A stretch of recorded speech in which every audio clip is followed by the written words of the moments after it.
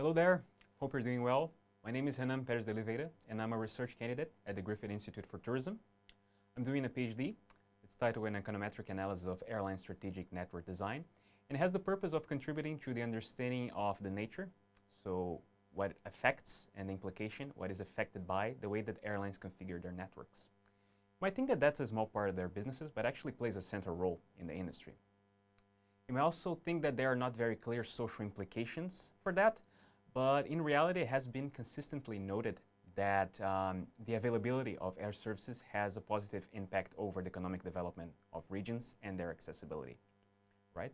So for the thesis, a series of case studies were uh, conducted. Those studies focused on data from Brazil and the United States, given data availability issues, uh, particularly concerning with the level of detail that is required. The first paper from the thesis was a systematic literature review, uh, which uh, was basically um, a computer-assisted thematic analysis. This paper was published on the Journal of Air Transport Management, and the results informed the analysis of the proper case studies.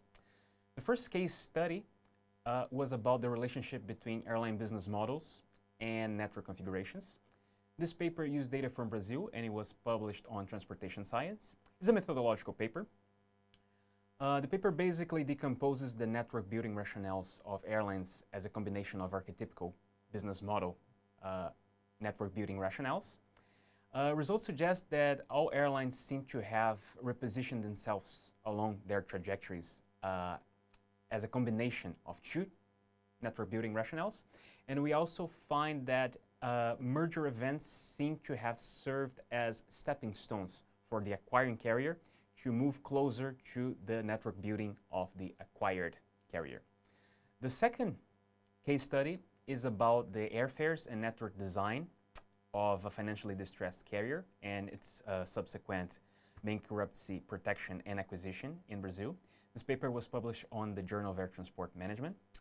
Results suggest fiercer price competition from rivals in the periods preceding the bankruptcy protection and the acquisition events. We also find enduring price competitiveness in the long run after the acquisition event, uh, suggesting that bankruptcy protection regulations can help sustain market contestability.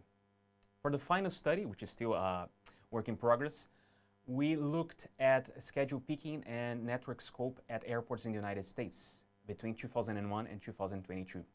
This paper will be presented at the Air Transport Research Society Conference of 2023 in Japan, right?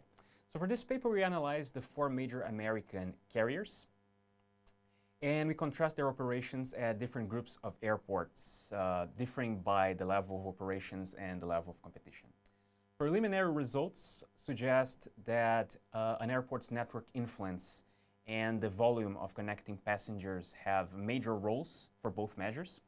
And we also find that after mergers, uh, all airlines seem to have increased their network scope at individual airports, while hub and spoke airlines increased schedule concentration and Southwest decreased it. If anything that I said today sparked your interest and you want to know more about it, please feel free to get in touch via the Griffith Institute for Tourism. Thank you.